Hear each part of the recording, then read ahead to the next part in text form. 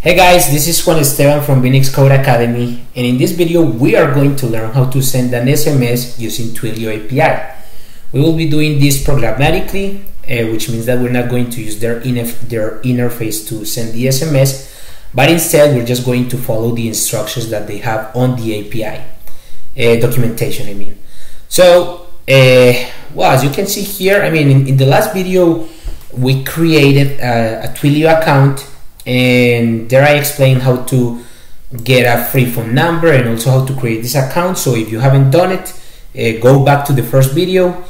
And, and, but in this video let's focus on sending the SMS we're going to use PHP and as I said previously we're also go gonna be using Node.js but in this initial video we will be using PHP let's do it. So So here, well, you can see that uh, they start by saying that they have different SDK SDKs available, and basically an SDK is SDK stands for Software Development Kit. And so they have a bunch of software development kits, uh, kits for different programming languages. In this case, we're going to focus on PHP. So I'm gonna click this link and well here they i mean they makes it very they make it very easy for you to send an sms because they just provide you with different uh, snippets of code that you can use uh, to like get started quickly. Uh, in this case okay let's let's go specifically to this page. So here it says install php and the twilio php helper library all right so as you can see the first thing i mean it's it's mandatory that you have php installed in your system. In this case i'm using linux. So i'm gonna open the terminal. And as you can see i'm using php version 7.3.4 uh, i think the newest version is php uh, 8.0 uh, as of the time that i'm recording this video so but anyways i mean you can install in different ways. You can use XAMPP or you can use i mean it really depends because if you're using a mac there are different options. My advice is that instead of using something like like XAMPP or WAMP or something like that or MAMP I advise you simply to install PHP manually. Uh, for example on Mac you can use Homebrew. Uh, even in Ubuntu, although it doesn't make a lot of sense to use Homebrew when you can simply run sudo apt install php. So in this case, I'm gonna assume that you already have PHP installed. And well, the next step is to have Composer in your computer. So as I said before, I'm using Linux. So here are the instructions for Windows, for Mac OS, Linux, or Unix systems. These are the ones that I'm going to use. And in case you don't know, Composer, as the name says here, is a tool for dependency management in PHP. It allows you to declare the libraries your project depends on, and it will manage, which means install and install and update them for you. It's actually pretty powerful and it's something that, it, I mean, pretty much every single PHP project available these days is, I mean, they are all using Composer so for example, if you use a, a framework such as uh, Symfony or Laravel or any of those, I mean, they, they all make use of Composer because it just makes it much easier to keep track of the dependencies and the libraries that you're using in your projects. So if I go to the download page, you can see that here they have the instructions to install it. So it's as simple. It's as simple as let me let me remove the installer that I have in my computer. So it's as simple as just running the commands that they have in this page. So if I do this well you can see how easy it is. And it's just a matter of running php composer that far. This means that composer is uh, I mean it's it, it was it's ready now and so it's as easy as running this command. But my advice is i mean if you want to let's say that you are in a different uh, folder on the terminal then you always have to run you have you always have to execute the command something like oh wait. Php Juanes courses composer.phar which is kind of annoying so my advice is that you put it in the if you if you move it from this folder to usr local bin composer that not composer that instead just leave it like this. Oh and don't forget to run this command using using sudo.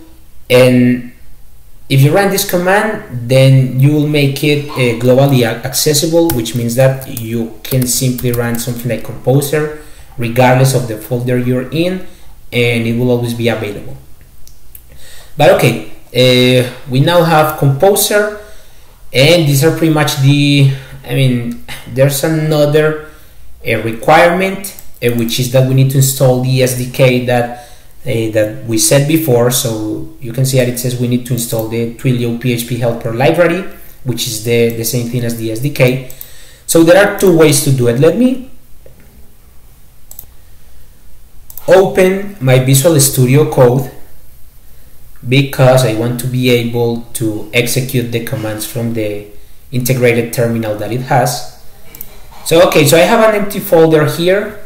It doesn't have anything so uh, I'm just gonna well I can open the terminal by coming here. Composer require Twilio SDK that's all it's as simple as that and I mean we are fully prepared now to to start uh, making calls to their API so uh, well it, it also says here that alternatively you can also install Twilio SDK uh, by creating this composer.json file and then running composer install. Uh, my opinion, is just easier to do it this way, and we already have it here. So let's move on to the next step, which is this one: send an outbound SMS with PHP.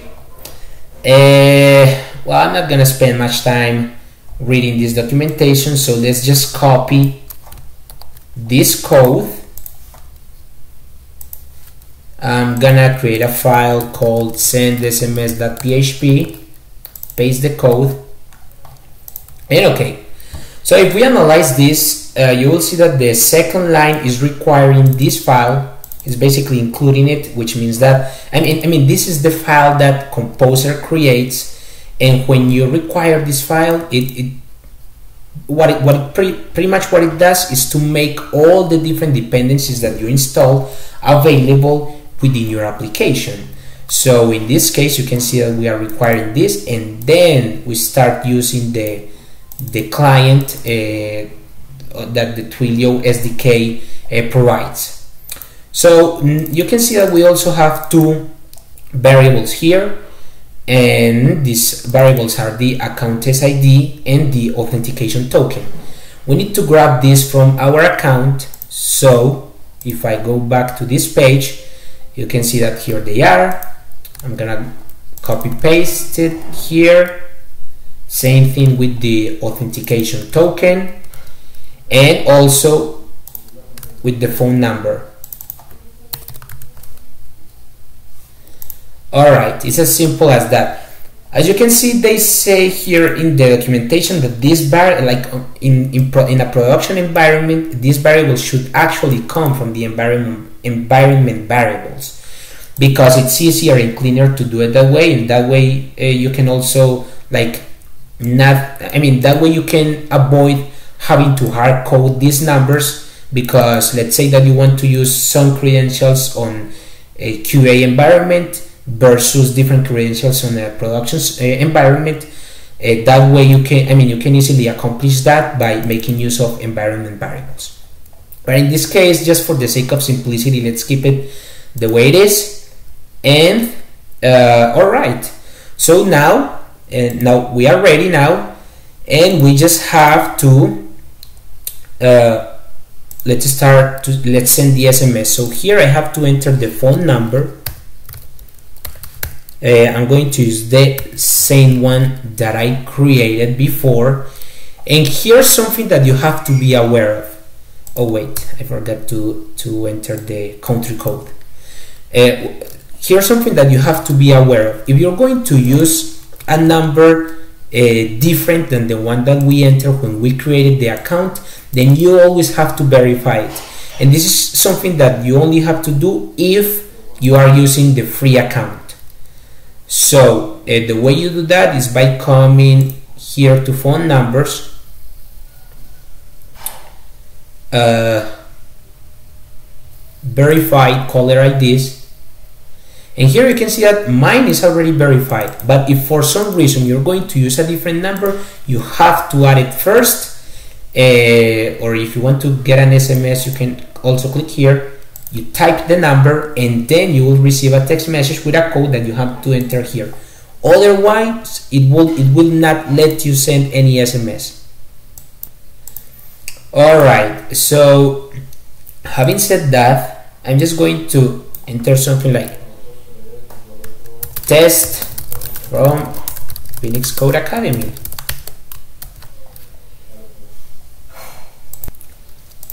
Okay so we're ready so there are two ways to execute I mean there are different ways to do it but I'm going I'm going to show you two ways to execute this this script.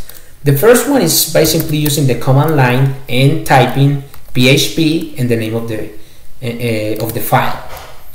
So if I do that well you see that uh, that I was able to send the SMS successfully so if I come here, you can see that it says test from Phoenix Code Academy. Let's try once more. Hit send, and voila, it's here. So we, we have been able to send the SMS successfully, which is great. I mean, it's as simple as that. As you can see, there's nothing complicated here. We just need to enter the body. Uh, we, we enter the, the phone number. I mean, there are some other parameters available uh, but just to keep it simple for now, we're only going to pass these two, the from number, which has to match the number that we have in Twilio, and in the body of the SMS.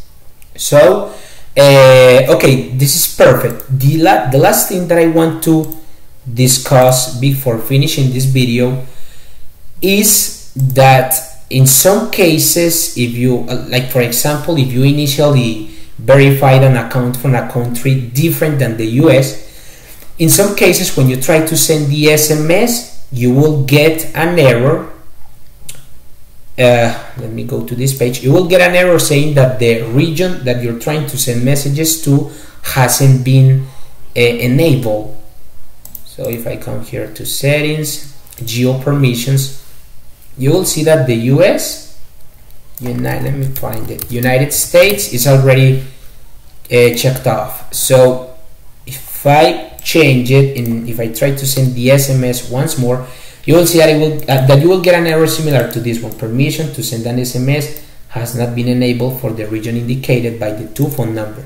So if you're going to send a text message to a number in Colombia or in El Salvador or Cuba or Jamaica or I mean any country, United Kingdom, uh, you will have to explicitly enable that region in this page. And so, oh, before I forget, uh, I was also going to show you another way uh, to execute this command. So it's very simple. PHP has something called a web server which I mean it's pretty much what I use these days. I don't use Apache or Nginx anymore. I mean not for development uh, purposes.